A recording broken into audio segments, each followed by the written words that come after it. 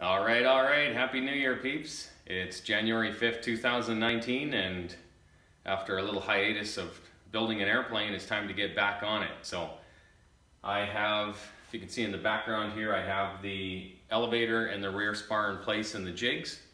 And today I'm going to be gluing those in. It's kind of the last piece of the um, puzzle in the horizontal stabilizer to determine the straightness of it. So I have it in the jigs, it's fitting nice. So boom, here we go. Let's get that baby glued in.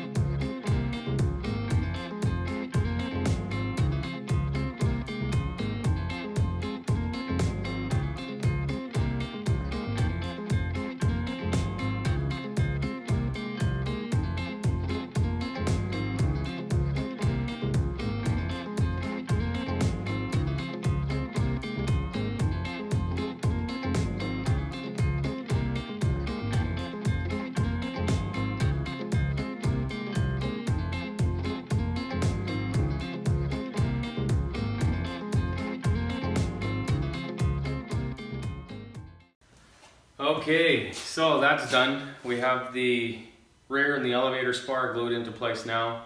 Got a nice little bead along all the seams on the bottom. We're in place.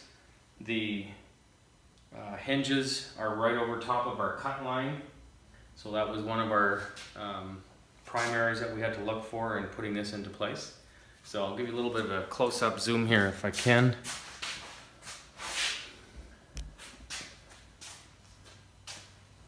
See, we got a bead running all the ways along. Got our, our bolts lined up.